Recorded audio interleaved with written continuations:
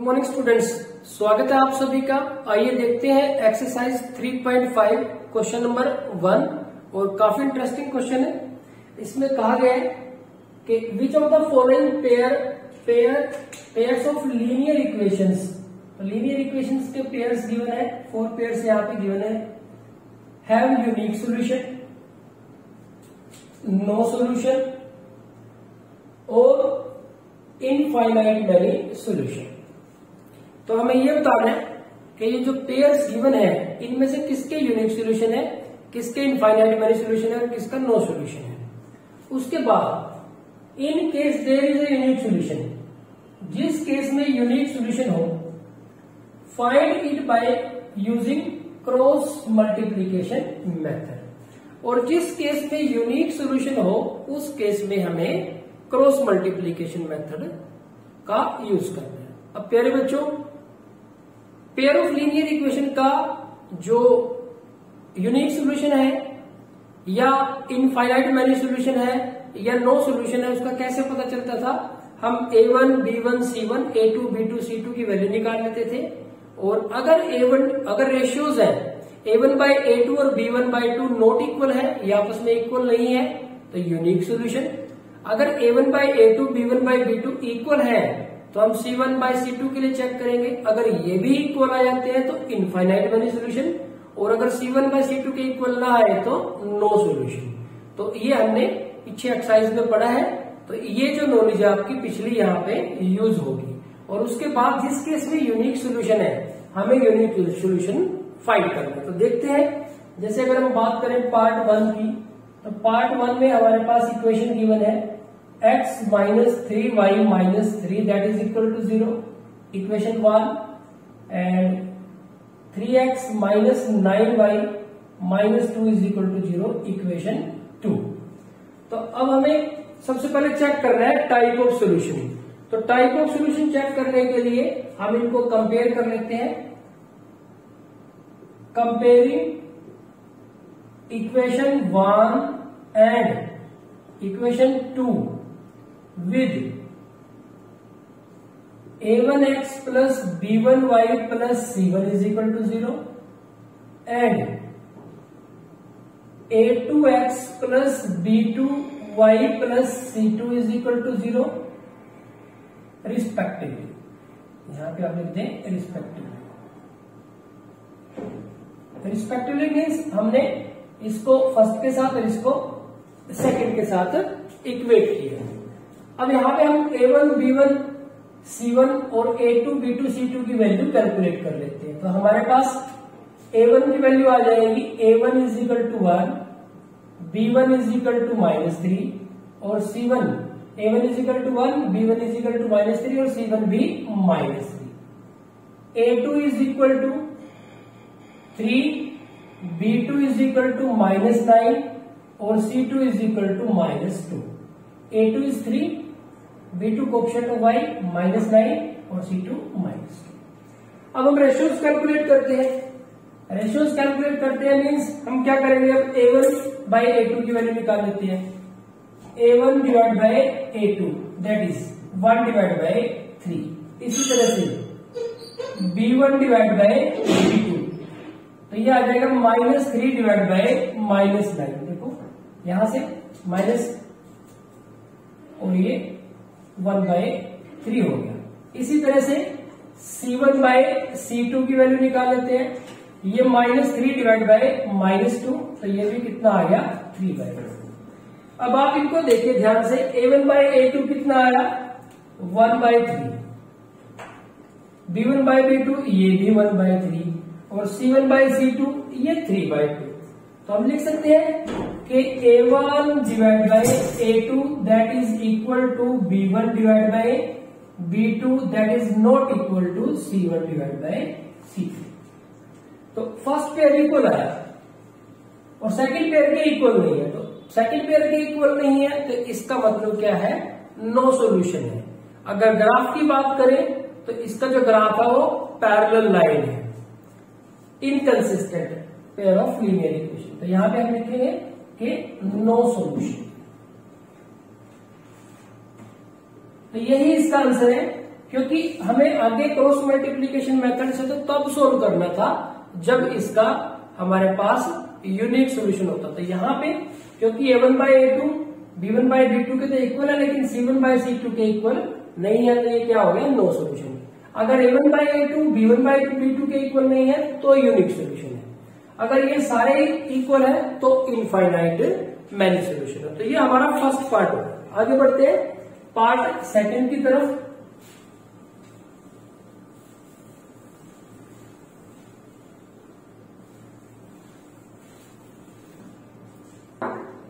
Second part में है हमारे पास। Two x plus y is equal to five and three x plus two y is equal to eight equation one equation two तो पहले हमें हम क्या कर लेते हैं, इसको सारे को लेफ़्ट साइड में लिख लेते हैं। तो हम इसको लेफ़्ट साइड में लिखेंगे तो हमारे पास ये हो जाएगा।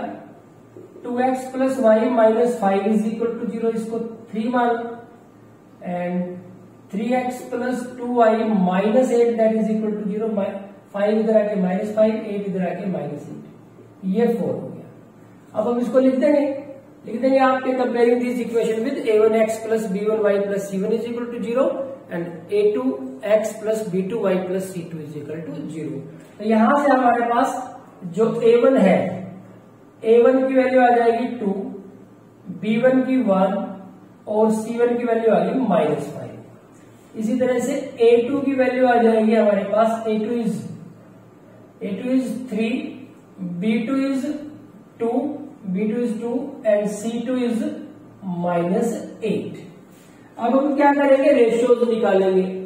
तो रेशियो निकालते हैं A one divide by A two that is equal to two by three इसी तरह से B one divide by B two that is equal to one by two C one by C two निकालने की ज़रूरत नहीं, अगर आप निकालना चाहें तो निकाल भी सकते हैं। वैसे कोई ज़रूरत भी नहीं है, क्योंकि ये दोनों इक्वल नहीं आए हैं। तो हम लिखेंगे कि since A one divide by A two that is not equal to B one divide by B two so pair of linear equations have unique solution अब अगर यूनिक सोल्यूशन है तो कहा है कि क्रॉस मल्टीप्लीकेशन मेथड से इसको find करो। तो यहाँ पे अगर यूनिक सोल्यूशन है तो क्रॉस मल्टीप्लीकेशन मेथड से इसको हमें फाइंड करना है। अब क्रॉस मल्टीप्लीकेशन मेथड से इसको फाइंड करने के लिए, क्रॉस मल्टीप्लीकेशन मेथड में हमें क्या करना था? लेफ़्ट साइड में लिखना था A one B one C one A two B two C two इनकी वैल्यू निकालने दी है निकली हुई है हमारे पास। तो जस्ट हमें सबसे पहले क्या करना है? डायग्राम बनाना है। एक्स कर लेते हैं। एक्स वाई और वन यहाँ पे हमारे पास क्या था?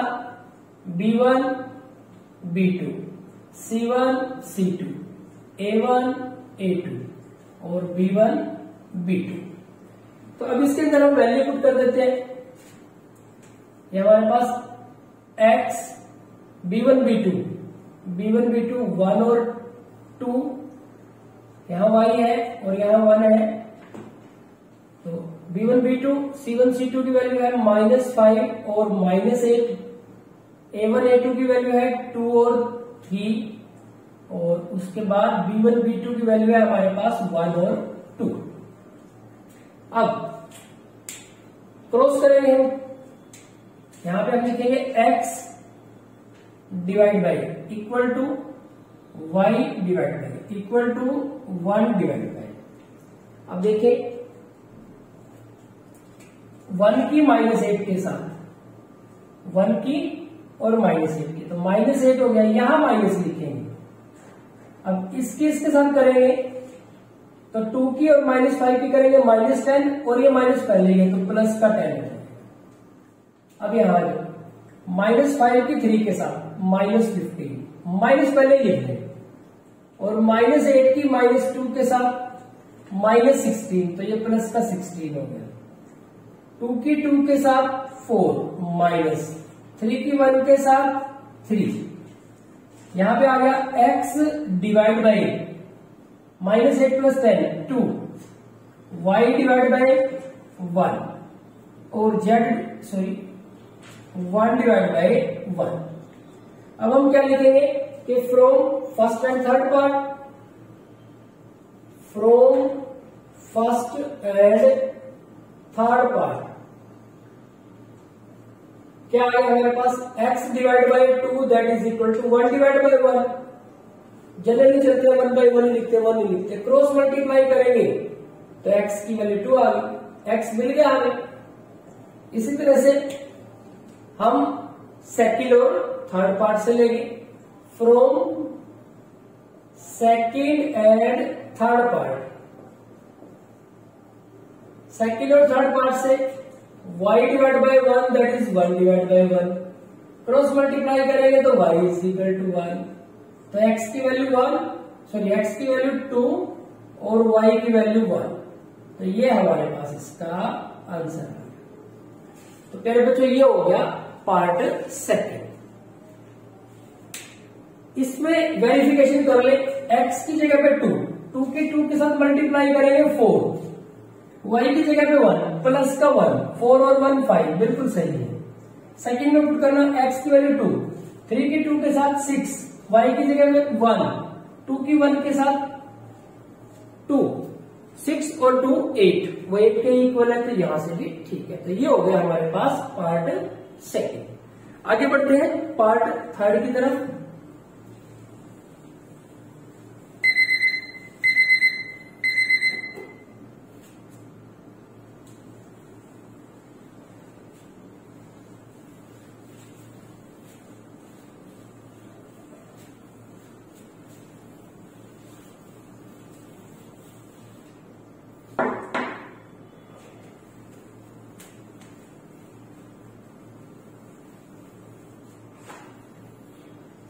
तेरे बच्चों पार्ट थर्ड में है हमारे पास three x minus five y is equal to twenty one and six x minus ten y is equal to forty second तो हम क्या करते हैं? क्योंकि जो कॉन्स्टेंट पार्ट है वो राइट साइड में है, हम इसको लेफ़्ट साइड में लिख लेते हैं पहले। Three x minus five y minus twenty is equal to zero इसको थ्री मान लिया। और six x minus ten y that is equal to sorry minus forty that is equal to zero इसको फोर मान लिया। अब हम इसको इक्वेट कर देंगे। लिख दें आप। कंपेयर कर देंगे। Comparing equation three and equation four with किसके साथ? A one x plus B one y plus C one is equal to zero and A two x plus B two y plus C two is equal to zero respectively means three को इसके साथ और four को इसके साथ हमने equate किया। और जब इक्वेट करेंगे तो A one B one C one की वैल्यू भी आएगी तो ए वन की वैल्यू हमारे पास कितनी आ जाएगी? थ्री बी वन की वैल्यू आ जाएगी माइनस फाइव और सी वन की वैल्यू आ जाएगी minus twenty three minus five minus twenty इसी तरह से ए टू की वैल्यू हमारे पास आ जाएगी सिक्स बी टू की वैल्यू हमारे पास आ जाएगी माइनस टेन और सी टू की वैल्यू आ जाएगी हमारे पास माइनस फोर्टी अब हमें क्या करना है? रेशियो निकालना हम पहले निकालते हैं ए वन बाई ए कितना है? Three divide by six. Solve करके कितना आ गया? One by two. B one divide by B two. Minus five divide by minus ten. तो यहाँ से साइन कैंसिल कर लो, ये वन और ये टू। तो ये भी one by two. C one by C two. Minus twenty divide by minus forty. Sign cancel कर लो। और ये वन पे और ये टू पे। ट्वेंटी वन जो twenty two. One by two. तो अब आप देखेंगे कि A one by A two सारे रेशो इक्वल है। B one by B two और C one by C two सारे इक्वल है। A one divide by A two that is equal to B one by B two that is equal to C one by C two तो यहाँ से सारे equal आ गए। So the given linear equations have infinite many solutions तो infinite many solutions होंगे इसके, क्योंकि सारे के सारे इक्वल आ गए। अब, आप देखेंगे कि अगर यूनिक सोल्यूशन है तो ही क्वेश्चन आगे चलेगा, नहीं तो यहीं पे रुक जाएगा। यहाँ पे आप अपने माइंड में भी सोच सकते हैं। देखो, हमने शुरू में बात की थी, हमने पीछे पढ़ा है कि देखो, यहाँ जो कोप्शन है वन और माइनस थ्री है। तो इनके कोप्शन की थ्री से मल्टीप्लाई की तो वन से थ्री बन गया और माइनस थ्री से माइनस नाइन बन गया। और माइनस थ्री और से कितना बनना चाहिए था? माइनस नाइन बनना चाहिए था। अगर पूरी इक्वेशन किसी नंबर से मल्टीप्लाई होगी, दूसरी इक्वेशन मिलती है तो इनफाइनाइट वैल्यू सोल्यूशन होते हैं। और अगर उसकी एक्स और वाई की टर्म मल्टीप्लाई हो जाए और कॉन्स्टेंट ना हो तो फिर नो सोल्यूशन होता है। अब देखो वन की थ्री के साथ मल्टीप्लाई थ्री आ गया। माइनस थ्री की थ्री के साथ मल्टीप्लाई माइनस नाइन आ गया। तो माइनस थ्री के माइनस थ्री के साथ मल्टीप्लाई करके यहाँ भी माइनस नाइन होना चाहिए था। अगर माइनस नाइन होता तो ये इनफाइनाइट वैल्यू सोल्यूशन होते। क्योंकि ये नहीं हुआ तो इसका मतलब ये वाला पार्ट इक्वल नहीं आया। तो इस वजह से क्या हो गया? नो सोल्यूशन यहाँ पे देखो थर्ड में थ्री से सिक्स बन गया, माइनस फाइव से माइनस टेन बन गया, ट्वेंटी से फोर्टी बन गया। टू से मल्टीप्लाई हो गया। यानी कि सारे पार्ट इक्वल आ गए तो इनफाइनाइट वैल्यू सोल्यूशन हो गया। अब ये बिल्कुल ये लगा देखो टू बाई थ्री और वन बाई टू तो ये यूनिक सोल्यूशन हो गया। और तीन ही तरह से आंसर हो सकते हैं। तीन ही तरह से सोल्यूशन हो सकते हैं। इससे हमें नो सोल्यूशन मिल गया, इससे हमें यूनिक सोल्यूशन मिल गया, और इससे हमें इनफाइनाइट मैंने सोल्यूशन और तीनों तरह के क्वेश्चन हमारे पास, हमने कवर कर लिए। तो पार्ट फोर में कुछ भी आंसर बने, चाहे यूनिक सोल्यूशन बने, चाहे इनफाइनाइट वाले सोल्यूशन बने, या फिर नो सोल्यूशन बने। हमने तीनों टाइप के क्वेश्चन कर लिए तो ये आपके लिए होमवर्क है। ये जो क्वेश्चन है, वो आपने खुद ट्राई करना है। क्योंकि जितना ज़्यादा आप खुद ट्राई करेंगे, उतनी ही ज़्यादा आपकी जो टॉपिक है, उस पर परफेक्शन होगी। तो ये आपके लिए होमवर्क है। तो प्यारे बच्चों, आज के इस वीडियो लेक्चर में इतना ही। लगातार प्रैक्टिस करते रहिए। Thank you very much